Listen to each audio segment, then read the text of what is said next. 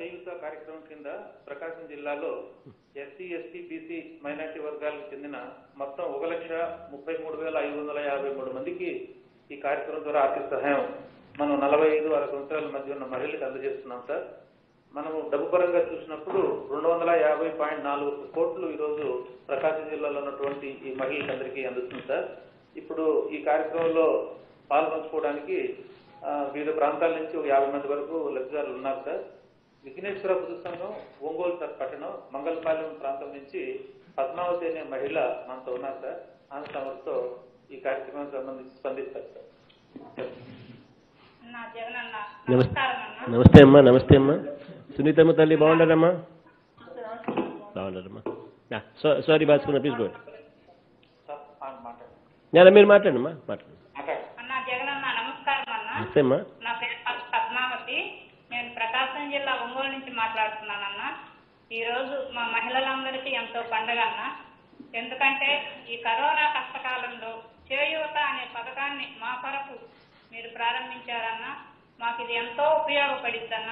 మా కుటుంబాలను ఆర్థికంగా నిలబెట్టుకోవటానికి స్వతంత్రంగా జీవనోపాధులను ఏర్పాటు చేసుకొని వాటిని మార్కెటింగ్ చేసుకునే విధానాన్ని కూడా పెద్ద పెద్ద సంస్థలతో టైఅప్ అయ్యి మా మార్కెటింగ్ మీరు దానిని సహాయం చేస్తున్నారన్న ఎలా మార్కెటింగ్ చేసుకోవాలో కూడా మీరు దానికి సలహా ఇస్తున్నారన్న దానికి ఎంతో ధన్యవాదాలన్న. ఇది ఈ చేయూత పథకం ద్వారా దాదాపు ఇరవై మూడు లక్షల మంది రాష్ట్రం అంతటా లబ్ధి పొందుతున్నారన్న. వాళ్ళల్లో నేను ఒక లబ్ధిదారుని అయినందుకు ఎంతో సంతోషంగా ఉందన్న.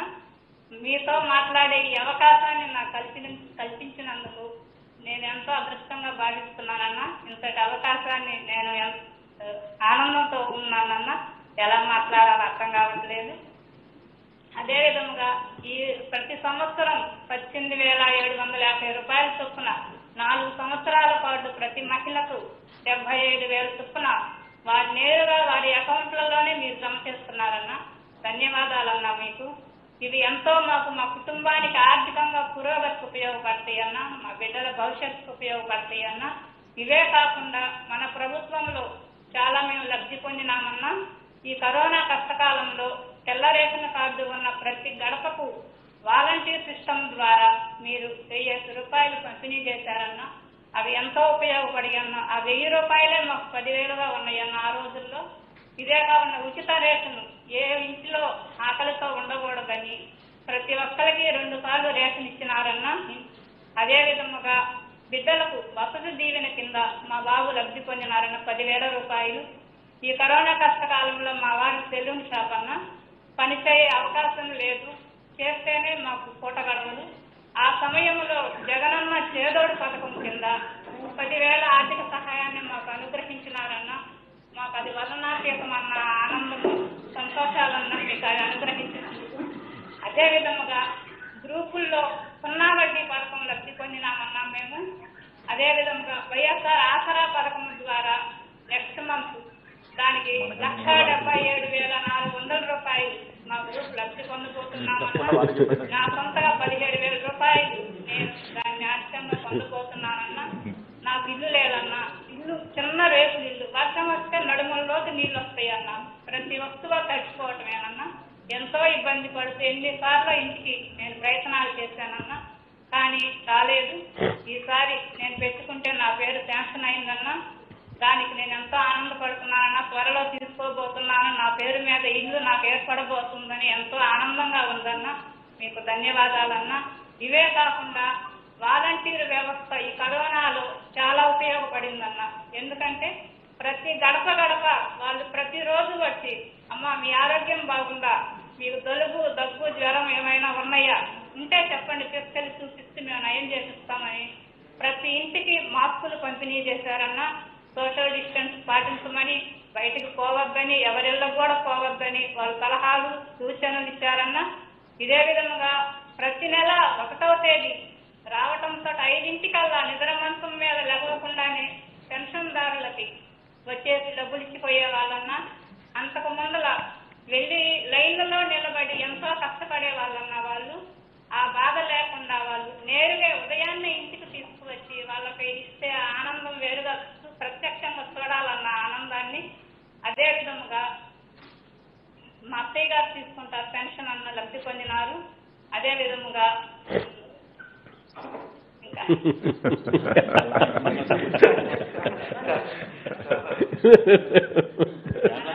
జగనన్న చేదోడు పథకమన్న మా వారు లబ్ధి పొందినారన్న కరోనా కష్టకాలంలో పనిచేసే టైం లేనప్పుడు ఆ పదివేల రూపాయలే మాకు ఎంతో అండగా ఉందన్న ఇవే కాకుండా మా బిడ్డలకు వసతి దీవెన కింద పదివేల రూపాయలు వచ్చినాయన్న మా బాబు ఫీజు రియంబర్స్మెంట్ కింద బీటెక్ కంప్లీట్ చేశాడన్న అవి లేకపోతే నేను చదివించేదాన్ని కాదన్న ఆ స్తోమత లేదు మాకు ఫీజు రియంబర్స్మెంట్ కింద ఆరోగ్యశ్రీ కార్డు లబ్ధి పొందినామన్నా రైతు కార్డు లబ్ధి పొందినామన్నా మేము.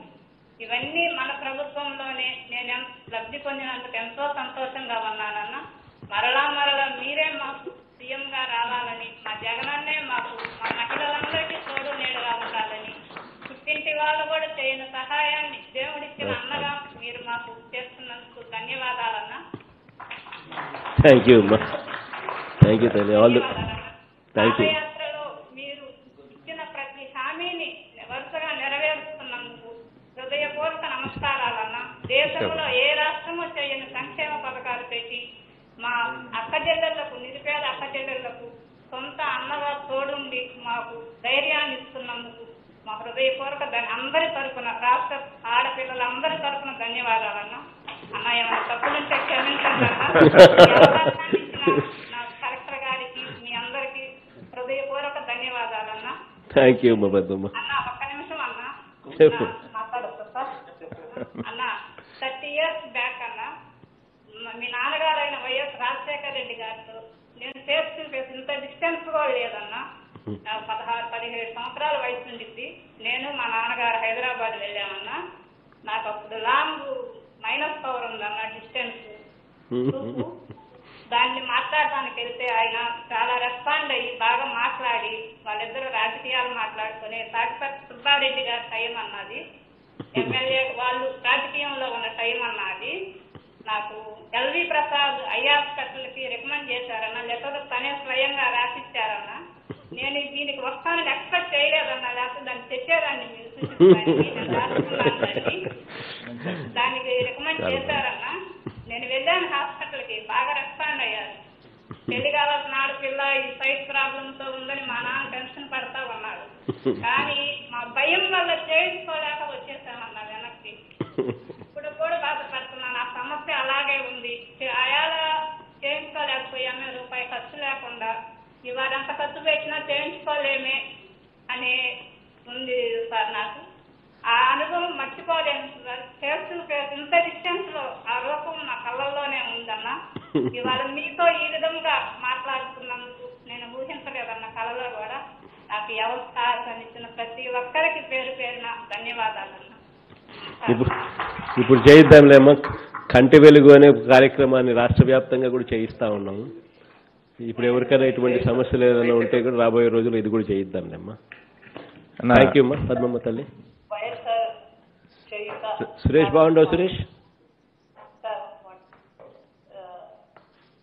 నమస్కారాలు అలాగే జిల్లా కలెక్టర్ గారికి మంత్రి గారికి సార్ అందరికీ నమస్కారాలు సార్. సార్ మీరు మహిళా పక్షపాతిగా ఇదివరకే మహిళల్ని ఆరోగ్యపరంగా కానివ్వండి ఈ రోజు రాజకీయాలు కానివ్వండి ఫిఫ్టీ పర్సెంట్ మహిళలకి అన్నింటిలో ప్రాధాన్యత ఇస్తున్నారు సార్. ఈ దిశ చట్టం కానీ అన్ని కానీ మరి ఈ రోజు మీరు చరిత్రలో నిలిచిపోయే విధంగా ఈ రోజు మహిళల పక్షపాతిగా ఈ రోజు ఎందుకంటే అతి సామాన్య కుటుంబాల్లో ఉన్నటువంటి మహిళల్ని గ్రామీణ ప్రాంత మహిళలు కూడా ఈ రోజు ఎన్నో ఆర్థిక ఇబ్బందులతో చాలా సతమతమవుతున్నటువంటి ఈ టైంలో మీరు చేయిత తీసుకొచ్చి రాష్ట్రంలో ఇరవై లక్షల మందికి దీన్ని ఇవ్వటం చాలా గొప్ప విషయం సార్.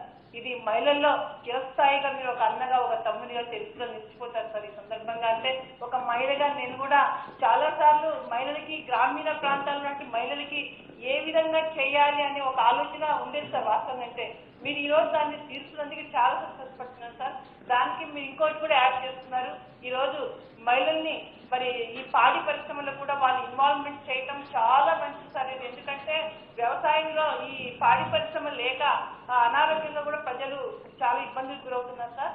ఈ టైంలో ఈ పాడి పరిశ్రమను కూడా తీసుకొచ్చి మరి మీరు ఆర్థిక చేయితనిస్తూ మరి ఈ పాడి పరిశ్రమ ఏదైతే తీసుకురాబోతున్నారో మీరు ఇదివరకే అగ్రికల్చర్లో విప్లవాత్మకమైన మార్పులు తీసుకొస్తున్నారో చరిత్ర సృష్టిస్తున్నారు అగ్రికల్చర్లో దానికి ఈ అమూల్ సమస్య ఏదైతే మీరు ఈ రోజు తీసుకొచ్చి దీన్ని చేయాలనుకుంటున్నారో యాడ్ చేస్తున్నారో ఇది చాలా మంచి విషయం సార్. రాబోయే రోజుల్లో దీంట్లో మంచి పరిణామాలు కూడా వస్తాయి. ఎందుకంటే మీరు కూడా ఒక రైతు బిడ్డగా మరి ఒక రాయలసీమ బిడ్డగా దీన్ని ఆలోచించి పాడి పరిశ్రమలో మహిళలు ఇన్వాల్వ్మెంట్ చేయడం చాలా సంతోషం సార్ ఇది. రాబోయే రోజుల్లో దీంట్లో మంచి మార్పులు వస్తాయి. ఎందుకంటే అగ్రికల్చర్ మీరు చాలా ప్రాధాన్యత ఇస్తున్నారు కాబట్టి ఈ రోజు రసాయన ఎరువుల వల్ల కూడా చాలా ఇబ్బందులు పడుతున్నాం సార్. ఈ సేంద్రియ ఎరువులు కూడా తయారు చేసుకోవడానికి ఈ పాడి పరిశ్రమ మీరు ఏదైతే ప్రారంభిస్తున్నారో అది కూడా ఒక ఆలోచన చేయాలని కూడా నేను ఈ సందర్భంగా మీ దృష్టికి తీసుకొస్తున్నాను సార్. చాలా కుటుంబంలో కూడా ఈ రోజు సంవత్సర కాలంలోనే మీరు ఇంత తీసుకొచ్చారంటే వెరీ వెరీ హ్యాపీ సార్ ఎందుకంటే ప్రతి కుటుంబం కూడా ఈ రోజు లక్ష రూపాయలు లబ్ధి పొందుతున్నారు సార్ అంటే అమ్మ ఒడి కానివ్వండి చేయుత కానివ్వండి మరి రైతు భరోసా కానివ్వండి చాలా మంచి స్కీమ్ సార్ ఇంత ఇబ్బందుల్లో మీరు ఇన్ని చేస్తారంటే ప్రతి ఒక్కరు కూడా అమ్మా, అధికారులు సునీతమ్మ సునీతమ్మ తల్లి వేరే వాళ్ళతో మాట్లాడదామా విశాఖపట్నం జిల్లా కలెక్టర్ గారు. థ్యాంక్ యూ తల్లి థ్యాంక్ యూ